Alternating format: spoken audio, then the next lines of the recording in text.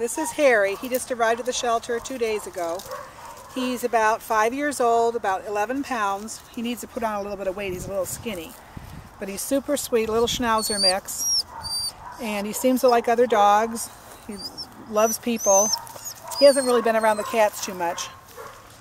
But uh, he was found in Ottawa and no one can find his owner, so now he's with us at the shelter. He's very curious. You see those doggies barking? He's extremely sweet. He gives kisses. He rides nicely in the car. He seems to be kennel trained. In the short time he's going in circles now. What do you hear? What do you see, baby boy? Come here, Hairy. Come here, honey buddy.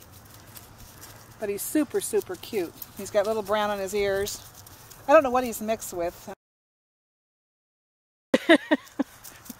oh, Sorry about that, folks. yeah, all, everyone poops. We all know that. Oh, yes, it feels so much better, don't we? Oh, yes, stretch. But he's got the cutest little face. And, um, okay, that's enough, mister.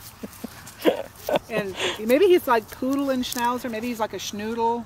I don't know what he is, but he's, he's wagging his tail. He sees Julie over there. Yes, you see Julie? You're such a good boy wagging your little baby tail. So we would love to get him a home as soon as possible. He just needs to put a little bit of weight on because he's a little skinny, but he's super sweet. So give us a call. There's little Hairy. Bye-bye.